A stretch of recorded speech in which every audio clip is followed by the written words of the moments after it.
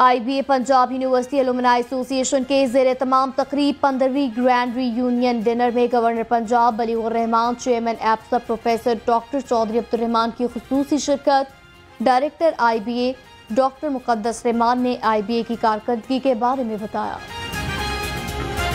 Since I have joined IBA, I have tried my best to uplift the image of IBA. The PhD program, which has been halted in 2015, has been resumed and we have inducted three new batches in the last three years.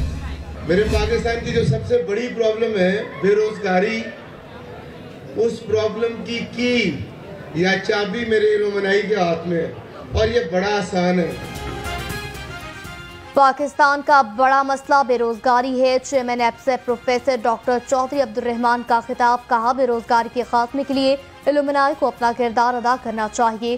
Skills development पर काम करने से मसाइल का हल होगा।